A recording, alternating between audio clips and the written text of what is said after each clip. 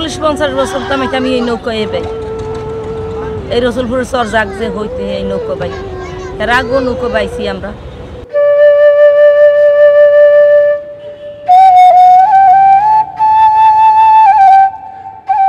বরিশালের কীর্তনখোলার শাখা নদীতে চল্লিশ বছর ধরে খেয়া পারাপার করে সংসার চালাচ্ছেন মরিয়ম বেগম নামে এক নারী। বাবার অভাবের সংসারে পেটের দায়ে কৈশোর বয়সেই নৌকার বৈঠা হাতে নিতে হয় তাকে। বিয়ের পর স্বামীও ঠিকমতো ভরণ পোষণ না দেওয়ায় নৌকার বৈঠা তার হাত থেকে নামেনি। বিশ বছর আগে স্বামী হোসেন মাল তাকে ছেড়ে চলে যান।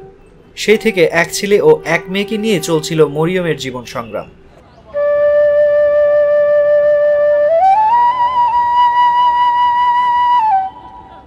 আমরা মহিলারা তো মানে জনম দুঃখী।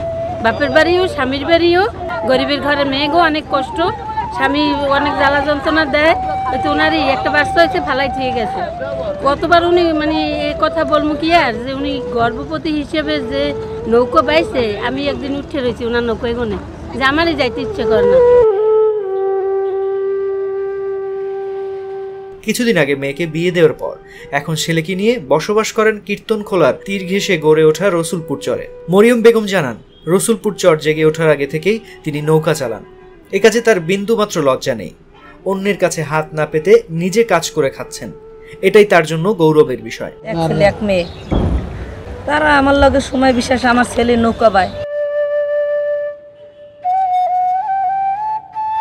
তবে এখন পর্যন্ত কোনো সরকারি সহায়তা না পাওয়ায় কিছুটা ক্ষোভও রয়েছে মরিয়মের। কোনো বাইরে কোনো সাহায্যটা ই করিয়া পায় না। কিন্তু আমাকে লগে এই যে নৌকা চালায় অনেক ভালো আছে। কিন্তু ওই একখানে গেলে খারাপ একটা কথা কইবে।